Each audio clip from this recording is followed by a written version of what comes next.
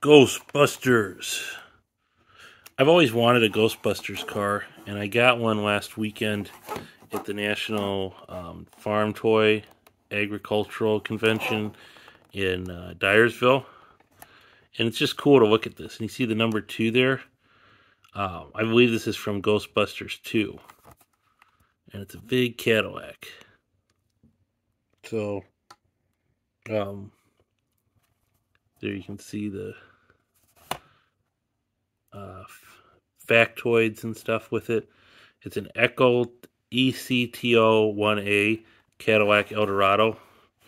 I think this was from an old hearse that they reconverted, or an ambulance. I don't really remember. Silver screen machines. Johnny Lightning.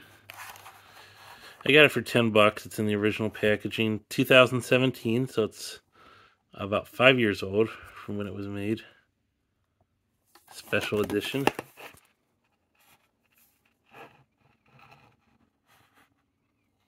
There you can see this is a pretty nice Johnny Lightning one. I like it a fair amount. It's a cool car. It's a Ghostbusters one. Some of these usually start at like 100 bucks. Now they're usually bigger, but I like the 164th, and the attention, the detail, and the design on this is all pretty, pretty good. I think it's a well-designed one. I'm going to keep it in the original packaging. But anyhow, just thought I'd share it with you. Hope you all like, subscribe, and enjoy.